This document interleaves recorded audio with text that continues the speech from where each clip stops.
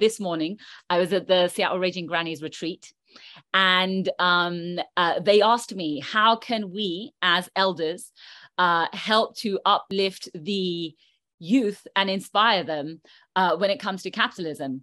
And I explained to them that capitalism is simply an expression of the war machine.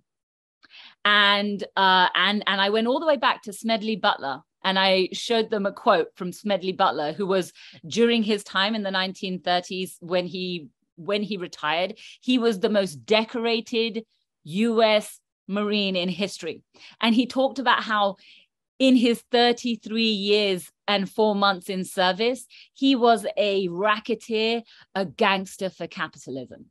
So I was explaining that to them. And I was saying, right now we're on the brink of nuclear war. And who knows better than our elders who have lived through the Cold War? Who have done drills in school for what happens when there's a nuclear bomb? Who knows better than you to educate our youth about why they need to be motivated and why they need to confront the war machine?